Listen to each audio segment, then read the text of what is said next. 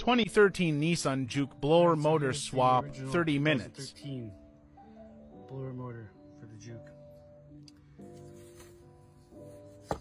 Here is the replacement Advanced Auto CarQuest. Has an additional plug so you don't have to connect right to it.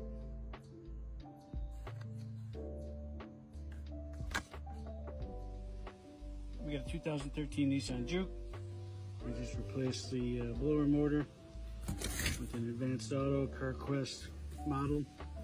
It had the extension for the uh, electrical connection. So basically there's uh, three bolts, uh, three screws on the top, two in the middle, and then four underneath.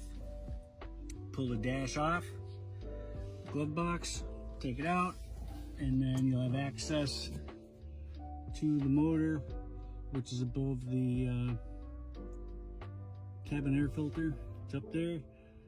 Give it a counter or a clockwise twist. It'll pull out. Um, there's some other electrical connections that are by the glove box. You have to maneuver past that by the firewall. Pull it out, unplug it, plug the new one in, and reverse the order. Put the glove box in, and that's it. About a half hour at the most.